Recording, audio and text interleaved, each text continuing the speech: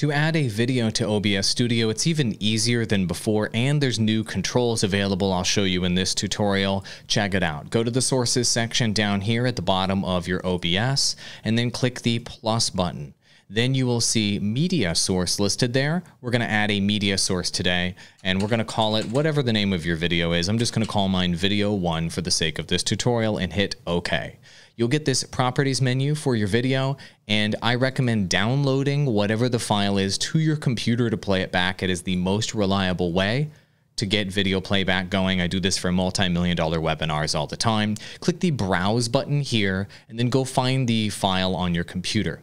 Mine is just a looping animation. Yours might be a trailer. Yours might be whatever it is. Select the file and hit open. It will load the file into OBS. And before you get started, you have a number of options here you're going to want to double check before you add the video to OBS. So number one, is it a looping video that you want to play over and over again, like an animation or an away screen or something like that? If so, go ahead and check this box right here. Mine is, for example.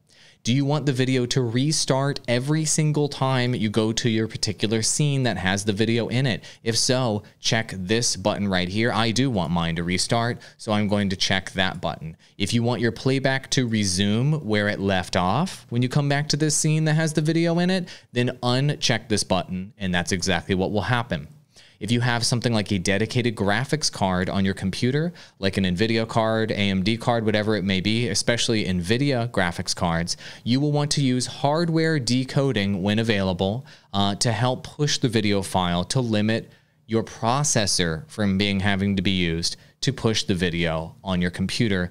And then whenever the video ends, you do have the option to show nothing when playback ends. I uncheck this box as a default.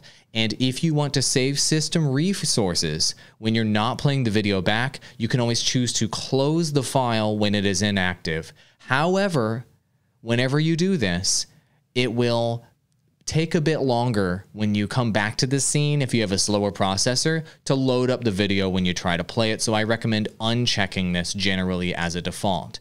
You also have the option to play your video essentially in slow mo with the speed bar or super fast with the speed bar. So what do I mean by that? So if you slide the speed bar to the left, it'll play it at 50% as an example at half speed. If you play it at uh, you know, 20%, it'll be one fifth speed, etc. You can also bump it up to double speed and double speed is the cap as you can see. They don't let you play it back faster than that. So if you want to slow it down to make it more epic or you want to speed it up for some reason, you can do that as well. And I recommend leaving the color range on auto uh, for, for obvious reasons. Once you hit OK, it will pop the video into your preview window, and you'll see a number of controls that are available here at the bottom that you can use to manipulate your video. These are new in OBS. If you don't have the latest version of OBS, you need to get it so that you have these playback controls they didn't use to be here. What you can do is you can pause the video right here if you want, play it back again, you also have a slider where you can go to any place in the video that you want. This is so amazing. They just added this. Or you can just literally stop the video. It will give you a black screen if you do that. And then you can hit the restart media button to start it all over again if you'd like. So if you want to analyze replays or you want to quickly find a place in a longer video to analyze or to show to your audience, you now have playback controls built in here within OBS. And check it out, it's even got a timer over here that lets you know how many seconds into the video you are and also how many seconds are left in the playback over here. So unbelievably useful to do that. You also have the ability to go back into the properties menu that we just had for your playback settings. And of course, you can add filters to the video if you wanted to, if you have custom filters that you want to overlay on top of your video. There's a whole nother video on this, but everything from chroma key to sharpening filters to LUTs, you name it, you can apply it to any videos moving forward. And look, if you need help with your tech and you need one on one attention, I'm happy to give it to you.